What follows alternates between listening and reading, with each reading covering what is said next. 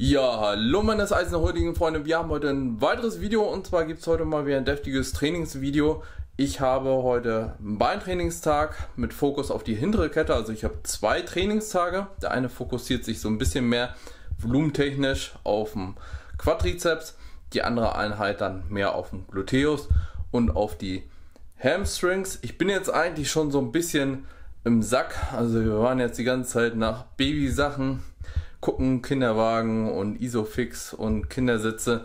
Ähm, der ein oder andere hat es ja vielleicht jetzt schon mitbekommen auf Instagram, aber jeder vielleicht hier noch nicht. Also ich werde ja, ähm, ja im November, also im November bekommen wir unser erstes Kind und da gibt es natürlich ein paar Anschaffungen zu machen, ein paar Vorbereitungen. Da steht jetzt noch einiges an bis dahin und das bringt mich so ein bisschen hier und da, ja, sagen wir mal, an meine organisatorischen Grenzen. Ne? Ich verabschiede mich jetzt schon mal von meiner Regeneration. Ja, nichtsdestotrotz, ich verleibe mir jetzt noch eine Kleinigkeit ein.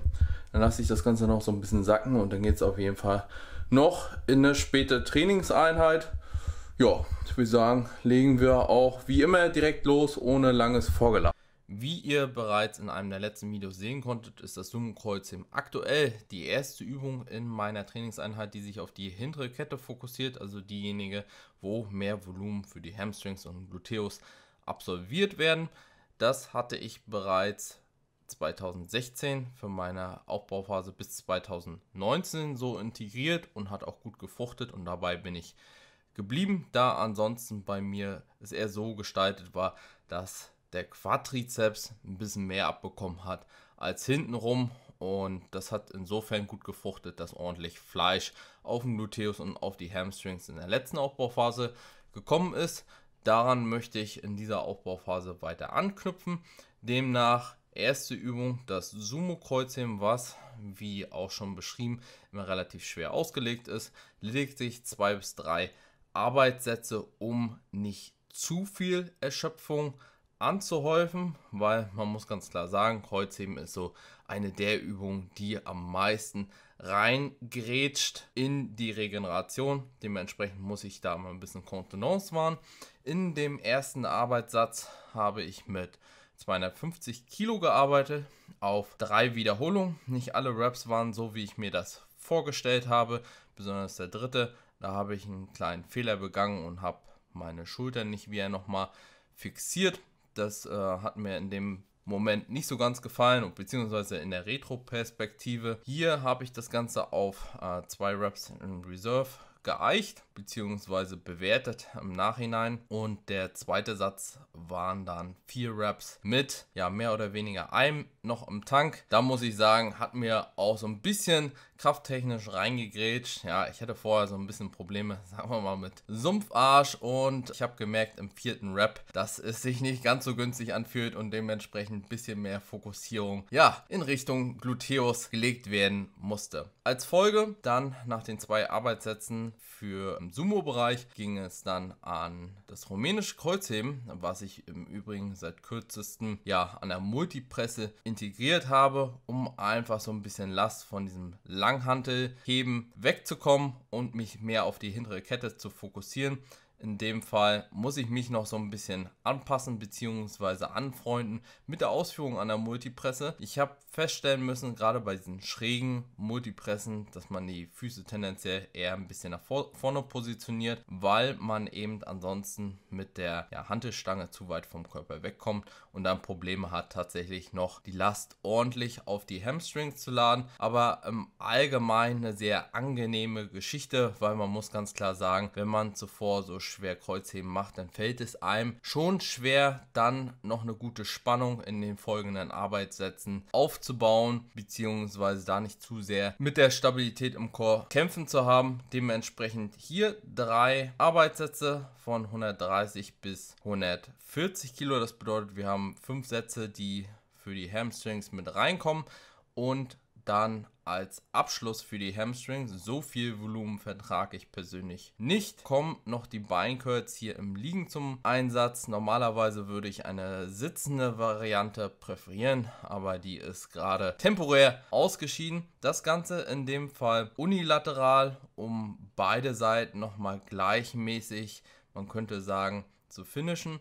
Wichtig ist hierbei vielleicht auch zu erwähnen, dass ich versuche, die Wade bestmöglich rauszunehmen. Ne? Man kann natürlich auch über die Wade ein bisschen im Kniegelenk kompensieren, dann ist man deutlich stärker, aber wir wollen ja möglichst isoliert den äh, Beinbizeps fokussieren und dementsprechend versuche ich meinen Fuß möglichst locker zu lassen. Also da muss jeder mal so ein bisschen rumprobieren, wie er am besten isoliert in den Beinbizeps kommt. Ob er da quasi wirklich die Fußspitze nach unten drückt oder ob er das, den Fuß einfach locker lässt. Nach Möglichkeit entsprechend nicht mit der Wade mitziehen, weil dann nehmt ihr euch so ein bisschen Last ab und das ist nicht so wirklich ja, Sinn und Zweck der Übung. Es kann sein, dass sich der Arsch manchmal so gerade zum Ende hin leicht abhebt, aber möglichst solltet ihr ihn zumindest auf der Bank lassen. Wenn er mal sich leicht bewegt, ist das noch halb so wild. Nach den drei Arbeitssätzen, die ich hier absolviert habe, tendenziell zum Muskelversagen, also bis wirklich keiner mehr geht und maximal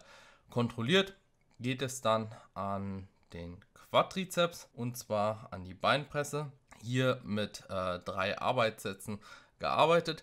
Ich mache es so, dass ich in dieser Einheit einen sehr, sehr engen Stand wähle und tendenziell ein bisschen höher im Bereich der Wiederholung liege, als ich jetzt, jetzt beispielsweise in der Einheit habe, in der ich mich auf den Quadrizeps fokussiere. Also da gehe ich tendenziell ein bisschen schwerer und habe noch einen leicht anderen Stand. Hier muss ich ganz einfach sagen, mit diesem sehr, sehr engen Stand, sehr, sehr weit unten positioniert am Brett bekomme ich ja schlussendlich sag ich mal, das beste Gefühl dann nochmal in den Quadrizeps mit rein, besonders wenn ich vorher was anderes trainiert habe und mit dem etwas höheren Wiederholungsbereich bekomme ich dann auch eher noch einen Pump in den Quadrizeps und bekomme ein besseres Gefühl rein, als wenn ich jetzt nach den vorherigen schweren Sätzen nochmal extrem schwer in die Beinpresse gehen würde. Ja, es war ein relativ entspannter Satz, also da habe ich mir noch ein bisschen was im Tank gelassen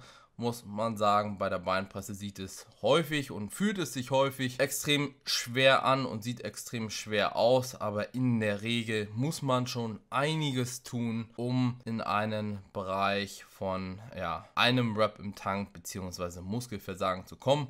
Das ist nicht ganz so einfach. Weiter ging es dann mit dem Beinstrecker. Beinstrecker ist natürlich relativ unspektakulär. Hier wesentlicher Fokus auf die Muscle-Mind-Connection und auf eine ordentlich harte Kontraktion. Ich würde mir ein bisschen mehr Range of Motion wünschen, also dass ich noch ein bisschen mehr in die Dehnung könnte. Das gibt die Maschine in dem Fall leider nicht her, aber man muss natürlich mit dem arbeiten, was man zur Verfügung hat. Hier drei Arbeitssätze. Man kann sehen, meine Beine sind relativ frei aktuell noch das Ganze in den letzten drei Tagen auf 96 Kilo. Ich muss sagen, die Form hat sich in letzter Zeit sehr, sehr gut entwickelt. Nicht nur im Oberkörper, sondern auch im Beinbereich, im Gluteus. Ist jetzt nicht viel zugefettet. Natürlich der Rücken, der leidet immer so ein bisschen ähm, im Zuge der Aufbauphase. Also gerade der Unterrücken ist immer tendenziell noch ein bisschen fetter. Zum Abschluss dann noch zwei Sätze Adduktion und drei Sätze in der Abduktion. Bei der Adduktion muss ich so ein bisschen aufpassen, dass ich es nicht übertreibe. Dort, wo ich anfasse, da sollt ihr es eigentlich spüren. Den Q habe ich ja schon mal äh, rausgehauen, dass es teilweise hilft, wenn ihr irgendwas fokussieren wollt, wenn ihr es tatsächlich dann mit den Händen anfasst, das besser anzusteuern. Ich muss insofern aufpassen, dass ich nicht zu einen harten Muskelkater äh, mehr reinfahre in die Adduktoren. Sumo-Kreuzheben habe ich natürlich auch schon drin. Dementsprechend muss ich da so ein bisschen Kontenance wahren. Aber die Adduktoren, dachte ich mir, könnten in dieser kommenden Aufbauphase noch ein bisschen zusätzlich Fleisch gebrauchen. Deswegen ein bisschen stärkere Fokussierung hier drauf und ergänzend zum Gluteus Medius dann noch die Abduktionsübung. Drei Sätze, relativ einfach, relativ nah zum Muskelversagen oder eher zum Muskelversagen.